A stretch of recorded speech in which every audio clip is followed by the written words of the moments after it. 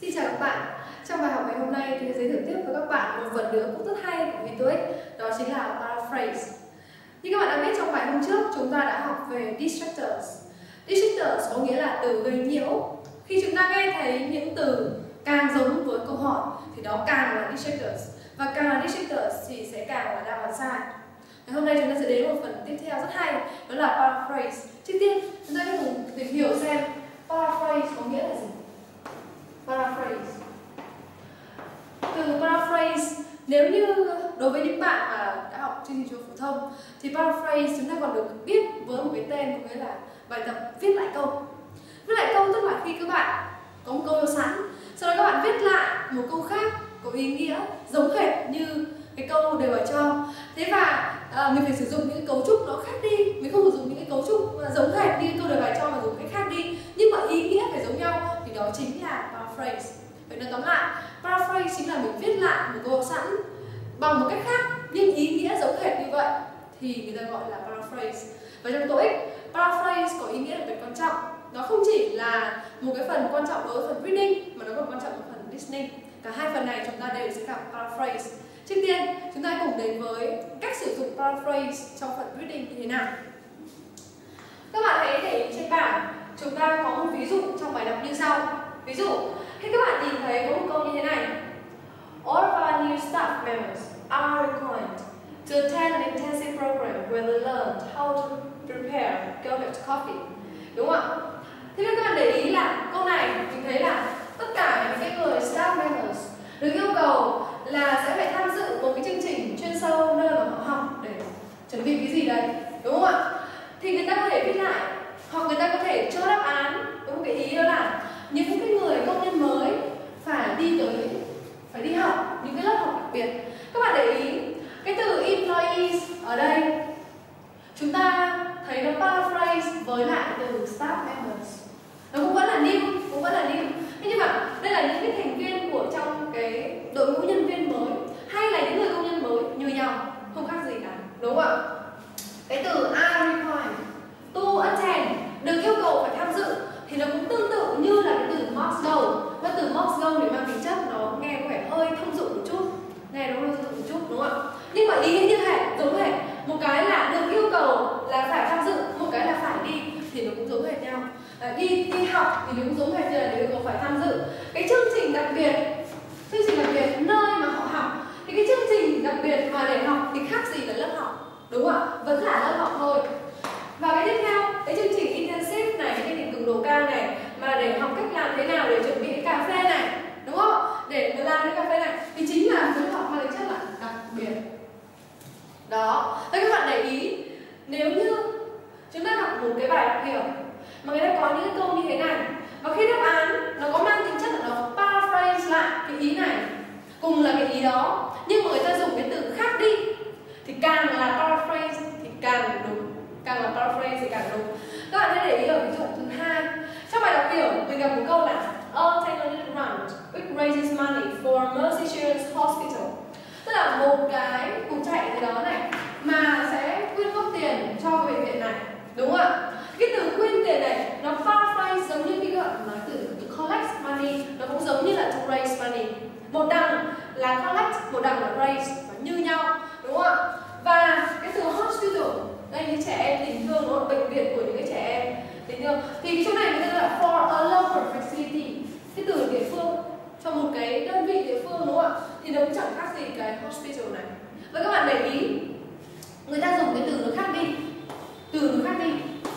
Nhưng mà về bản chất ấy, thì ý tưởng của nó vẫn là như thế đúng không ạ ý tưởng nó vẫn là như thế có điều là người ta dùng cái từ nó khác đi cái này là employees cái này là members cái này nó là are required to attend cái này là must go cái này là learn cái này là classes cái này là intensive cái này là special cái này nó là raise money cái này nó là collect cái này là hospital cái này là local bản chất của mấy từ này nó là tương đương nhau thì khi các bạn gặp những trường hợp như thế này thì càng là paraphrase càng là ý, giống. Mà từ lại khác đi, thì càng đúng. Các bạn để ý hôm trước chúng ta học về distractors từ gây nhiễu.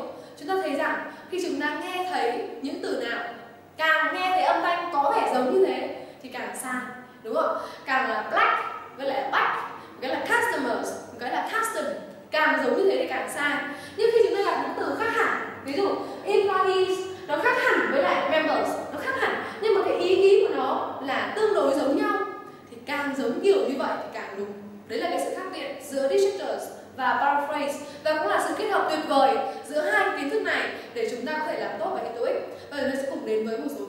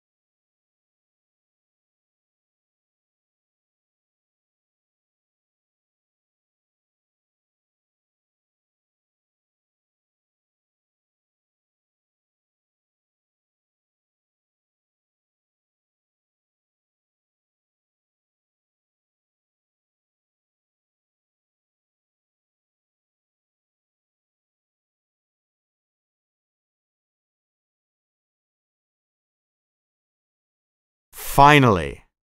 I've been waiting for this shipment of fabric for nearly a month. I was beginning to think it would never arrive. Now I can get on with the dresses I'm making for Jayford's department store. That's a relief. The store has been calling every day about those dresses. What took it so long to get here? I don't know. Maybe it took a while to clear customs. No, look, they got the address wrong. No wonder it took so long.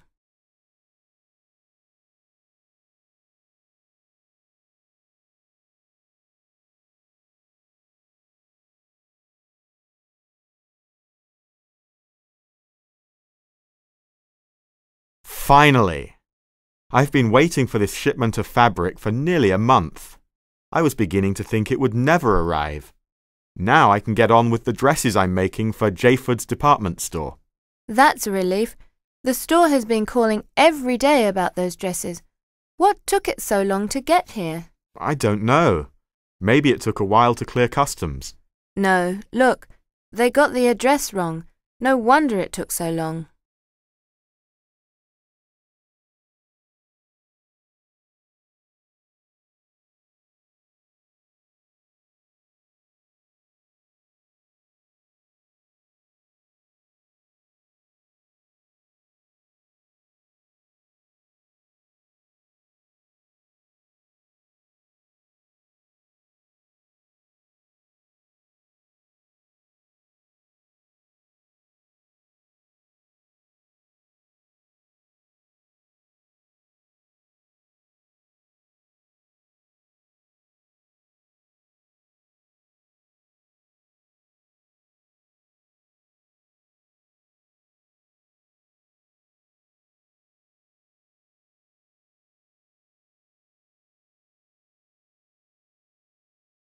So now that you've seen it, what do you think of the new training package? Well, it's certainly better than the old one. That's true. But what kind of feedback did you get from the trainees? It's hard to say.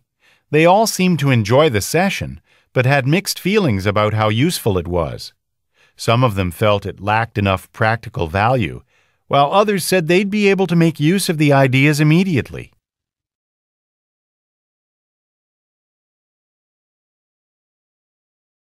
So now that you've seen it, what do you think of the new training package? Well, it's certainly better than the old one. That's true. But what kind of feedback did you get from the trainees? It's hard to say. They all seemed to enjoy the session, but had mixed feelings about how useful it was.